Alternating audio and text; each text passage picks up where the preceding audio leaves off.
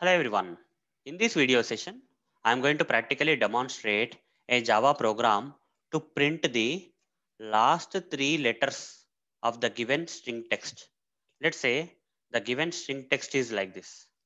String str is equal to, this is a given string text. Let's say Arun Motoori, my name. Now, using the Java program, you need to intake such kind of string text from the user and after intaking, you need to retrieve the last three letters of the given string text. Can you find out the last three letters of the given string text? These three letters, guys. Okay. We need to retrieve this and print the last three letters of the given string text. Now let me practically show you how to write the Java program to intake this string text and retrieve the last three letters of the given string text. First of all, we need to intake the string text from the user. For that, we need to create an object for the scanner class using scanner class, we can intake inputs from the users.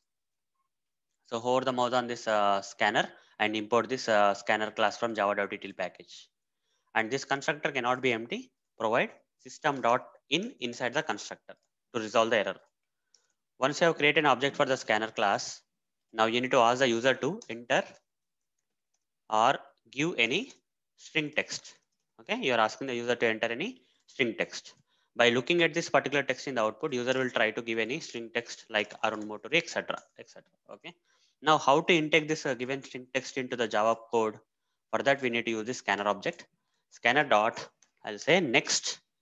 This is string text. So we have to use a command like line, next line, next line command. Using next line command, we can intake string text into the Java code from the users, which is given as input. So once this uh, next line will capture this uh, input given by the user as string, then we can store that into a kind of variable. Let's say str. I'm just writing it as str for the mouse, create local variable. So we have received the required string text from the user and thereafter stored into this str kind of thing. Now we need to write the logic for retrieving and printing the last three letters of the given string text. How to write? For that, what we can do here is, uh, if you can see here, this given string text is like this, right? Arun Motoori, okay, in this example. So if you can find out the index, A is at 0, R is at 1, U is at uh, 2, N is at 3, space is at 4, M is at 5, O is at 6, like keep on going, okay, 8, 9, R is at uh, 10 and I is at 11. Okay, this RI, R is 10, I is 11. Simple. Now, if you have to retrieve this uh, last three letters, we need to use this indexes that is 9, 10, 11. Okay, if you retrieve the characters of the given string text from this uh, indexes, then you can retrieve this last three letters of the string text. Okay, using the indexes we have to do. For that, what we can do is first of all, we will convert this str into a character array. Okay, if you have to go with this index concept, then you have to convert this string into a character array. For that, we have a command, right? String class has a command known as to char array command. This to char to char array command will convert the given string text into a character array. You see the character array. So I will say strca string character array for the mouse create local variable. Now we can iterate through this character array for retrieving the required index values. That is, uh, if you retrieve the index 9, you will get the 0. If you retrieve index 10, you will get R. If you retrieve index 11, you will get I. Like this, guys. Okay. We need to retrieve this last three letters. So let's first retrieve the index 11, guys. Okay. Index 11, that is I. How to do that? For that, we have to write a for loop, guys. For int i is equal to size of this character array minus 1. Okay. What's the size of this character array? 1, 2, 3, 4, 5, 6, 7, 8, 9, 10, 11, 12. 12 minus 1 is 11. So we need to first find the size of the character array. For that, I will say int size of the character array is equal to strca dot length. This will give the size of the character array. Now size minus 1 will give the index 11 size is 12 guys okay? Size size of this given string text is 12 you need to find the index 11 for that you have to say i is equal to size minus 1 this this is going to be the index 11 and i greater than or equal to size till size minus 3 okay? Till size minus 3 size minus 1 is 11 size minus 2 is uh, 10 size minus 3 is 9 if you give like uh, if you don't give this equal you have to say size minus 4 so that it will consider up to size minus 3 anything is fine guys. Either you write like this and put size minus 3 or if you don't want to give this equal symbol then give size minus 4 it will consider up to size minus 3 only in this case also. Fine? Starting from size minus 1 till size minus 3 that's it. And i minus minus. Here you have to decrement from 11 you have to make it 10 from 10 you have to make it 9 right? For that decrement. Now we need to retrieve this character at this given index first. That is size minus 1 size minus 1 is 11 let's say i is 11 so the condition here is 11 greater than 11 greater than size minus 4 that is size is 12 12 minus 4 is 8 yes 11 is greater than 8 true. We'll go inside the for loop. And uh, what we have to do is uh, here we need to create one more thing. String last three letters. Initially last three letters i'll put as nothing. There is not not even a space between these double quotes so kind of nothing. Last three letters is equal to okay last three letters is equal to i need to retrieve this uh, character. How to retrieve that character so for that what we have to do is uh, this character array strca of i we have to say.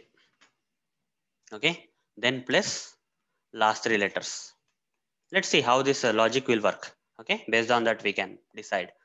Last three letters is equal to strca of i is index 11 index in, index 11 character array has this value that is i. So here this one is i guys so i will be appended to nothing. When i is appended to nothing what will happen? It will be i only. Okay? I. Then i minus minus. Here i became 10 10 greater than 8 10 greater than 8 true. True again. So again we'll go inside that and uh, last three letters is having high now. Strca of 10 is of 10 is r. So r need to be retrieved here. R plus last three letters is i. Ri it will be like r plus last three letters is already i. So ri like this. So if you put this last three letters here and then add this strca of i it will give a different result guys. Make sure the position of strca should be here and after that only the last three letters should be there so that it will be properly appended. Otherwise you have to again reverse the last three letters. Fine? So if you don't want to reverse it simply append like this like this format so the current uh, retrieved thing that is r appending with the earlier one that is i. So it will become ri instead of ir we have to get ri just keep that in mind. Now i minus minus it will become 9 9 greater than 8 still true. Strc of 9 is o. O will be retrieved here. O will be appended with ri the last letters is ri so o will be appended with ri so here position is here guys. O plus ri is ori so are this ori the last three letters? Yes ori is the last three letters. Fine. Now i will become 8 8 greater than 8 is false. We'll come out of the for loop. Simple. We are able to retrieve the last three letters and store them into the last three letters uh, kind of thing of string. Okay?